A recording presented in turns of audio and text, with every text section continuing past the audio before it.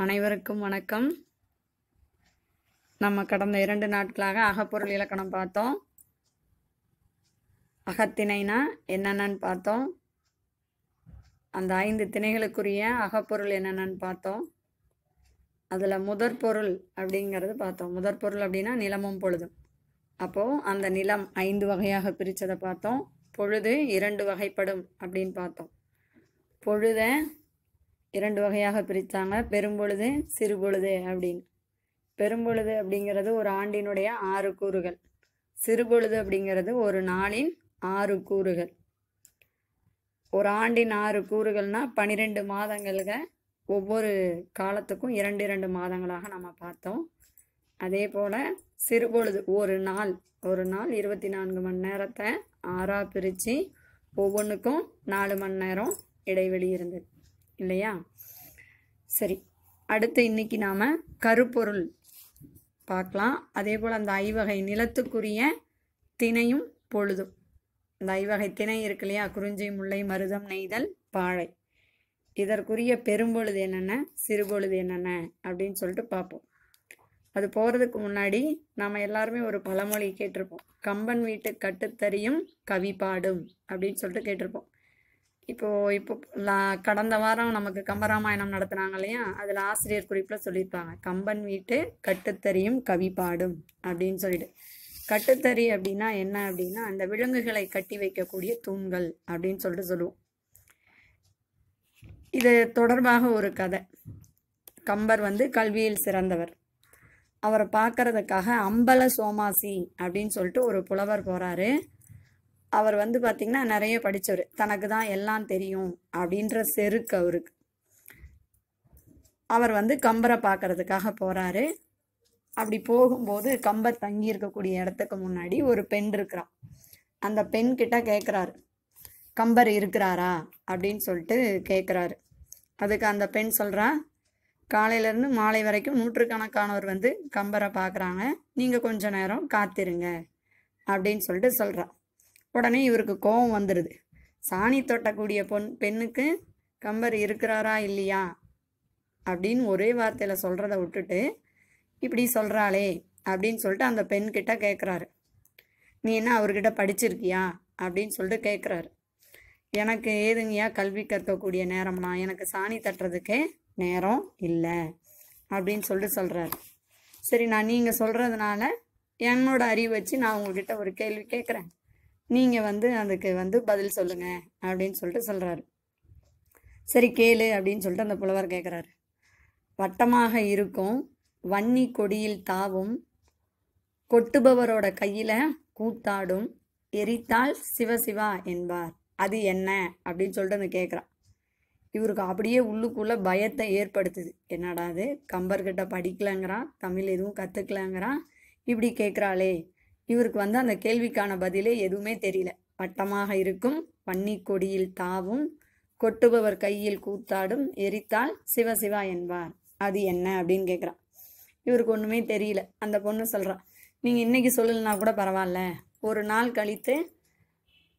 அடுத்த நாள் கூட சொல்லுங்க அப்படின்னு சொல்லிட்டு அவர் போயிடுறா. அவ போயிடுறான் கம்பர் வராரு அங்கேருந்து. இவரை உள்ளே கூப்பிட்றாரு. கம்பர் கிட்ட கேட்குறாரு இது மாதிரி அந்த சாணி தட்டக்கூடிய பெண் வந்து என்னை கேட்குறா இதற்கான பதில் என்ன? அப்படின்னு சொல்லிட்டு கேட்குறா அவள் உங்ககிட்ட படித்தாளா அப்படின்னு சொல்லிட்டு கேட்குறாரு இல்லை அவள் சாணி தட்டக்கூடிய பெண் அவன் அவளோட தொழிலை தான் அதை சொல்லியிருக்கா. வேற ஒன்றும் இல்லை அப்படின்னா. எனக்கு ஒன்றும் புரியலையே அப்படின்னு அந்த புலவர் சோமாசி கேட்குறாரு இல்லை வட்டமாக இருக்குன்னா அவள் வரட்டி தட்டுறவன் சாணி தட்டுனா காஞ்சா வரட்டி இல்லையா? வரட்டி தட்டுறவன் அதை வந்து வன்னி மரத்தை வச்சு தான் எரிப்பாங்க. அப்படி எரிச்சு முடித்தா அது என்ன ஆகும்? சாம்பல். அதை நெத்தியில் வைக்கும்போது நம்ம சிவ சிவா அப்படின்னு சொல்லிட்டு சொல்லுவோம் இல்லையா? அதை தான் சொன்னால் வேறு ஒன்றும் இல்லை அப்படின்னு சொல்லிட்டு சொல்லுவார். அப்போ தான் அந்த புலவருடைய தனக்கு தான் எல்லாம் தெரியும் அப்படின்ற அந்த கற்றறிந்த செருக்கு வந்து அழிஞ்சது. அப்போ அவருக்கு வந்து அந்த புலவர் சொல்கிறாரு இது உண்மைதான். கம்பன் வீட்டு கட்டுத்தறியும் கவி பாடும் அப்படின்னு சொல்லிட்டு சொல்லக்கூடிய பழமொழி உண்மைதான். அதனால் நாம் என்ன பண்ணோம் நம்ம தான் நமக்கு தான் எல்லாம் தெரியும் அப்படின்ற இதோட நாம் எப்போவுமே செருக்கோட நடந்து கொள்ளக்கூடாது சரி பாடத்துக்கு போகலாமா இந்த ஐவகை தினங்கள் இருக்கு இல்லையா? குறிஞ்சி முல்லை மருதம் நெய்தல் பாலை. இதற்குரிய பெரும்பொழுது என்னென்ன அப்படின்னு பார்த்தீங்கன்னா குளிர்காலமும் முன்பனி காலமும் குறிஞ்சிக்குரிய பெரும்பொழுது என்னென்னு பார்த்தீங்கன்னா குளிர்காலமும் முன்பனி காலம். முல்லைக்குரிய பெரும்பொழுது பார்த்தீங்கன்னா கார்காலம் இங்கே ஒரு அட்டவணை கொடுத்துருக்காங்க பாருங்க உங்களுக்கு. முல்லை அப்படின்னாவே மழைக்காலங்கள் தான். கார்காலம் மருதம் பார்த்தீங்கன்னா பெரும்பொழுதுகள் ஆறுமே வரும். கார்காலம் குளிர்காலம் முன்பனிக்காலம் பின்பனி இளவேநீர் முதுவேநீர். நெய்தலுக்கும் அதே மாதிரி தான். பெரும்பொழுதுகள் ஆறுமே வரும். பாலைக்கு பார்த்தீங்க அப்படின்னா இளவேநீர் முதுவேனில் பின்பனி காலம். இளவேநீர் காலம் முதுவேநீர் காலம் பின்பனி காலம். இதெல்லாம் பார்த்திங்கன்னா பாலைக்குரியது. இந்த ஐவகை நிலங்களில் பெரும்பொழுது குறிஞ்சிக்குரியது குளிர்காலமும் முன்பனி காலமும். அதாவது நம்ம வரிசையாக எழுதினோம்னா ரெண்டு மூணு. குளிர்காலம் முன்பனி காலம் இரண்டாவதாகவும் மூன்றாவதாக வருது. முல்லை பார்த்திங்கன்னா முதல்ல வரும் கார்காலம். முல்லைக்குரியது எப்போவுமே கார்காலம். மருதத்துக்கும் நெய்தலுக்கும் பார்த்திங்கன்னா ஆறுமே வரும். அதனால தான் உங்களை நேற்றே நான் சொன்னேன் எப்போவுமே ஒரே வரிசையாக நம்ம படித்து எழுதி பார்த்தோம் அப்படின்னா அந்த வரிசை வந்து மாறாமல் இருக்கும். நம்ம சீக்கிரமாக நினைவில் வச்சுக்கலாம். பாலைக்கு பார்த்திங்கன்னா நாலு அஞ்சு ஆறு. இளவேநீர் காலம் முதுவேநீர் காலம் பின்பணி காலம். உங்களுக்கு பின்னாடி இருந்து கொடுத்துருப்பாங்க ஆறு அஞ்சு நாலு அப்படி கொடுத்துருப்பாங்க. இது வந்து பெரும்பொழுது அதுக்கடுத்து பார்த்திங்கன்னா சிறுபொழுது குறிஞ்சிக்குரிய சிறுபொழுது பார்த்திங்கன்னா யாமம். இது எப்படி நாம் நினைவில் வச்சுக்கிறது? அப்படின்னு பார்த்தீங்கன்னா குறிஞ்சி அப்படின்னாவே மலையும் மலையும் சார்ந்த பகுதி மலை தான். அவங்களோட தொழில் என்னன்னு பார்த்தீங்கன்னா வேட்டையாடுதல் தான். வேட்டையாட எப்போ போவாங்க? நடு ஜாமத்தில் போவாங்க. இந்த யாமம் அப்படிங்கிறது தான் மருவி நாம் இப்போது சாமம் அப்படின்னு சொல்லிட்டு சொல்கிறோம் அப்போது குறிஞ்சிக்குரிய சிறுபொழுது என்னது? யாமம். முல்லை. முல்லைக்கு பார்த்தீங்கன்னா மாலை. இது எப்படி ஞாபகத்தில் வச்சுக்குதுன்னா முல்லை பாருங்க அதனுடைய இறுதி எழுத்து என்ன? லையா. அதே போல் அதனுடைய சிறுபொழுது பாருங்க மாலை. அதனுடைய இறுதி எழுத்தும் இது. இப்படி ஞாபகத்தில் நாம் வச்சுக்கலாம். அடுத்து மருதம். மருதத்துக்குரிய சிறுபொழுது பார்த்திங்கன்னா வைகரை மருதம்னாவே என்ன? வயலும் வயலும் சார்ந்த இடமா? இந்த வயலுக்கு எப்போ போவாங்க கிராம பகுதியில் விடியற் காலையில் போவாங்க. அந்த விடியற் காலையை தான் நாம் என்னன்னு சொல்லுவோம். வைகரை அப்படின்னு சொல்லி சொல்லுவோம்.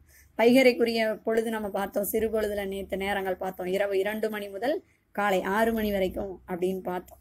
அப்போ வயலுக்கு எப்போ போவாங்க? வைகரை விடியற் காலையை தான் என்னன்னு சொல்கிறோம் வைகரை அப்படிங்கிறது. நெய்தல். நெய்தல் பார்த்தீங்க அப்படின்னாவே கடலும் கடல் சார்ந்த பகுதி.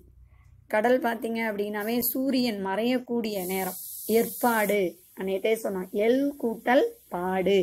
எல் அப்படின்னா ஞாயிறு பாடு அப்படின்னா மறையும் நேரம். அப்போது நெய்தல்னாவே சூரியன் மறையக்கூடிய கடலில் சூரியன் மறையக்கூடியது. அதனால் அது ஏற்பாடு அப்படின்னு ஞாபகம் வச்சுக்கலாம். பாலை.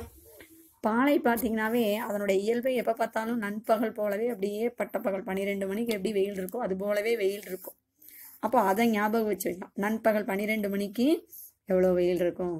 காலை பத்து மணி முதல் இரண்டு மணி வரைக்கும் நல்ல வெயில் இருக்கும் இல்லையா? அதை தான் நண்பகலுக்குரிய சிறுபொழுது அப்படின்னு சொல்லுவோம். இப்படி தான் நாம் நினைவில் வச்சுக்கோம் குறிஞ்சி முல்லை மருதம் நெய்தல் பாலை. இதற்குரிய பெரும்பொழுது. குறிஞ்சிக்கு பார்த்தோம். ரெண்டாவது ஒன்றும் மூணாவது ஒன்றும் அதாவது குளிர்காலமும் முன்பனி காலமும். முல்லைக்கு பார்த்தீங்கன்னா முதலாவதாக வரக்கூடிய பெரும்பொழுது கார்காலம். மருதத்துக்கும் நெய்தலுக்கும் பெரும்பொழுதுகள் ஆறும் வரும்.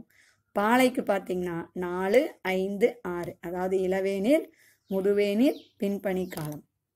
அதே சிறுபொழுது பார்த்தீங்கன்னா குறிஞ்சி வேட்டையாட எப்போ போவாங்க?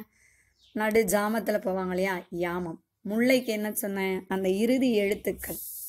இல்லையா? இயைபு அப்படின்னு சொல்லுவோம். மாலை. அதை ஞாபகம் வச்சுக்கோங்க. மருதம் அப்படின்னாவே வயல். வயலுக்கு எப்போ போவாங்க? விடியற் காலையில். வைகரை பொழுது. அதை ஞாபகம் வச்சுக்கோங்க.